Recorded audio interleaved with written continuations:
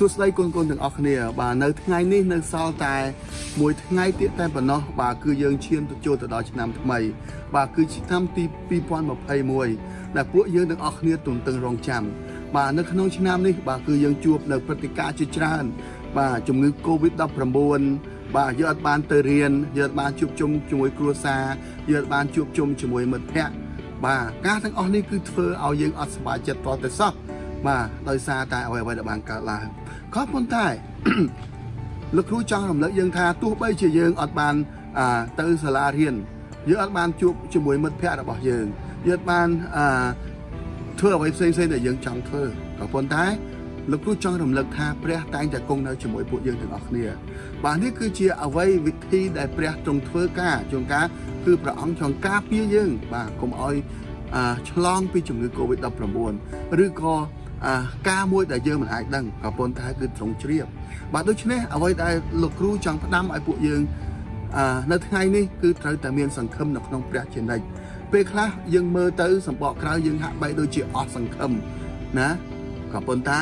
ព្រះមិនបានបោះបង់យើងចោលទេ បាទនៅថ្ងៃនេះបាទគឺលោកគ្រូនឹងបាទសូមអាននៅក្នុងព្រះគម្ពីររ៉ូមនៅចំពុកទី15ខទី13ដើម្បីរំលឹកថាបាទព្រះអង្គគឺជា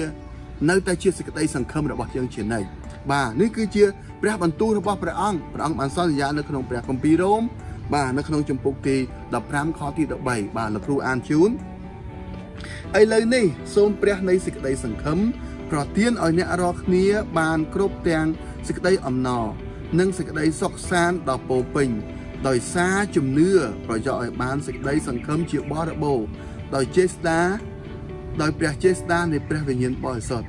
បាទដូច្នេះនៅក្នុងខកំពីនេះព្រះអង្គរំលឹកយើងថាដោយសារតែយើងជឿនៅក្នុងព្រះអង្គបាទដូច្នេះគឺយើងមានសេចក្តីសង្ឃឹមនៅក្នុងព្រះអង្គជានិច្ចយើងទុកចិត្តដល់ព្រះអង្គជានិច្ចឥឡូវនេះគឺឆ្នាំថ្មី បាទគឺខិតចិត្តមកដល់ហើយដូច្នេះយើងបន្តអធិដ្ឋានឲ្យព្រះអង្គបានគង់នៅជាមួយយើង គ្រួសាររបស់យើងមិត្តភ័ក្តិរបស់យើង បាទដូច្នេះសូមបន្តសង្ឃឹមនៅក្នុងព្រះអង្គរីករាយឆ្នាំថ្មីលោកគ្រូនឹងជួបគ្នាអ្នកទាំងអស់គ្នានៅឆ្នាំក្រោយពេលឆាប់ៗនេះសូមអរគុណសូមព្រះបានប្រទានពរអ្នកទាំងអស់គ្នា